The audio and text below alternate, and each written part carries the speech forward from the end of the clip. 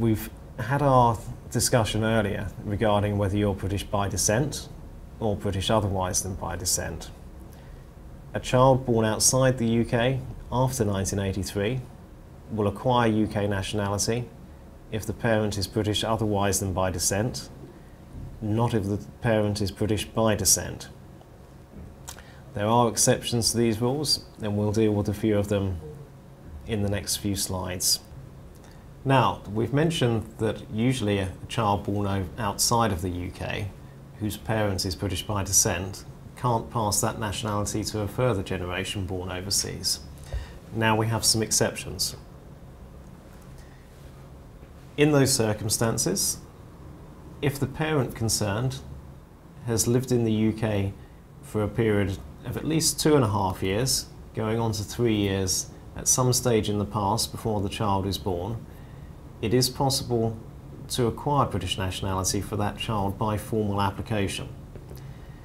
Applications of this nature have to be made before the child becomes 18 years of age. Up until February 2010, applications were only possible within the first 12 months of the child's birth. Uh, it's not impossible that there will be cases out there where parents have tried to acquire UK citizenship for their children just after the 12 month time limit that was originally there, uh, whose cases at the time were declined, who can now have those cases reopened in the manner of reacquiring now that the regulation states that the application can take place right up until the 18th birthday. For cases like this, grandparent concerned has to be classified as British otherwise than by descent, and generally that would be a grandparent of the child being born in the UK.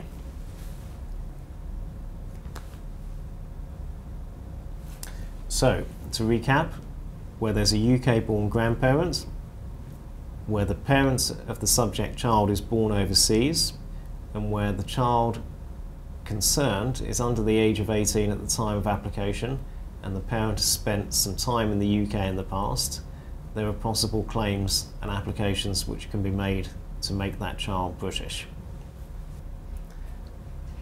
That represents our second example of how children born overseas can claim UK nationality in the second generation by descent, i.e. from a grandparent born in the UK to a grandchild born overseas. Now, we have our second example of how a child born to parents who are British by descent already can pass nationality down to a further generation born overseas. We talked about the fact that if the parent concerned had spent three years in the UK in the past, and where the grandparent of the child was British born, that the child could make it, or an application could be made for the child before its 18th birthday.